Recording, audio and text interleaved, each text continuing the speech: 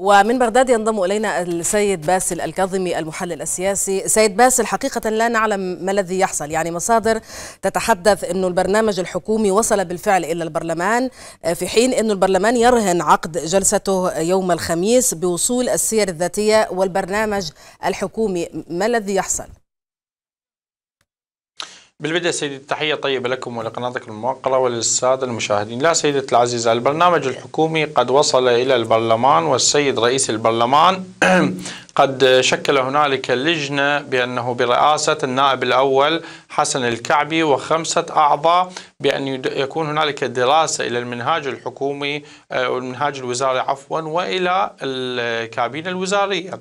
فالآن هنالك المسألة ليس مسألة بأنه فقط المنهاج الوزاري والكابينة الوزارية وهذه مسميات. هنالك انشقاقات هنالك في البيت السني انشقاقات في البيت الشيعي كذلك انشقاقات في البيت الكردي.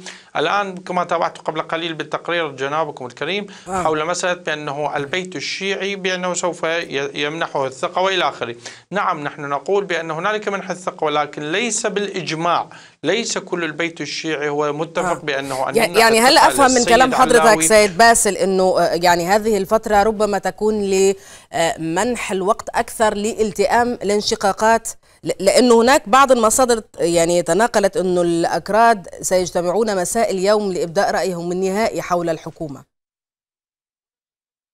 لا سيدتي العزيزة كل ما اقتربنا من يوم منح الثقة كل ما ازدادت الانشقاقات والخلافات وهذه مسميات إن عدنا إلى الجانب الكردي الجانب الكردي جملة وتفصيلا يوم أمس قد أتى وفد من الجانب الكردي ووضع هنالك شروط وهذه الشروط من ضمنها حتى استحداث وزارة جديدة يعني يطالبون بأربع وزارات من حكومة بغداد إليهم ولا يقبلون بأنه أن يتنازلوا على المناصب وهذه مسميات.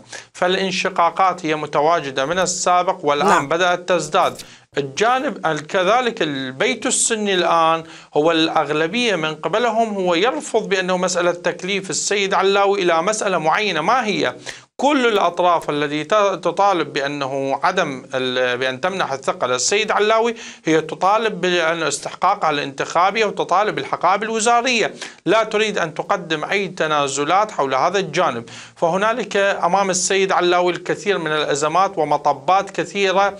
نتوقع نتوقع حتى إذا تم تمرير حكومة السيد علاوي فليس تمرر بحكومة كاملة. سوف يكون هنالك بعض الحقائب الوزارية الذي بأنه لم يتم التصويت عليها حتى من خلالها يتم المباحثات مع البيت الكردي والبيت السني أما إذا بقينا نعم.